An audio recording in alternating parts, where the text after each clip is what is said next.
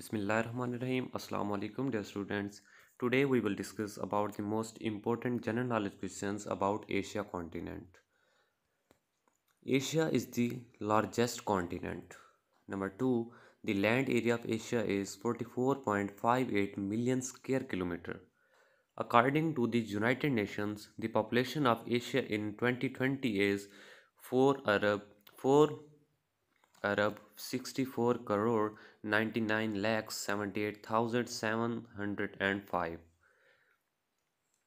Asia population is equivalent to 59.76% of the total world population. The population density in Asia is 150 per square kilometer. The total land area of Asia is 3 lakh 31 lakhs 33,131 square kilometer.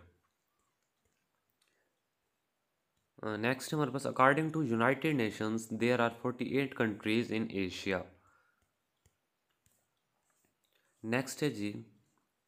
Next है हमारे पास there are three dependencies in Asia Taiwan Hong Kong and max Macau next है there are twelve landlocked countries in Asia Afghanistan Armenia Azerbaijan Bhutan Laos Kazakhstan Kyrgyzstan, Mongolia, Nepal, Tajikistan, Turkmenistan and Uzbekistan.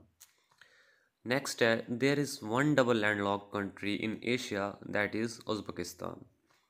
Next है, Uzbekistan is surrounded by Afghanistan, Kazakhstan, Kyrgyzstan, Tajikistan and Turkmenistan.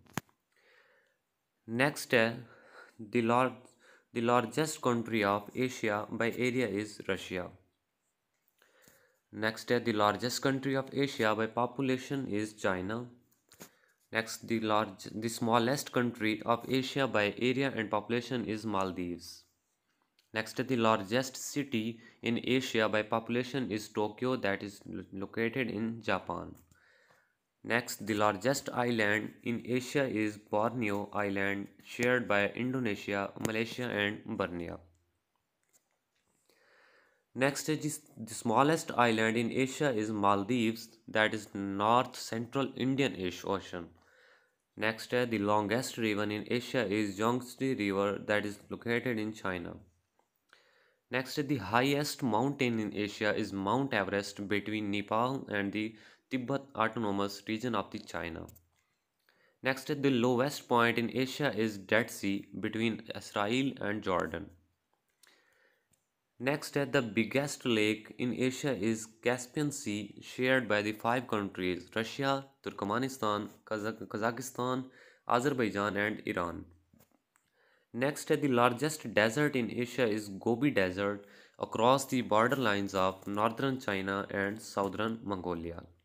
तो students this was the our two days lecture कल मिलते हैं तब तक के लिए अल्लाह हाफिज़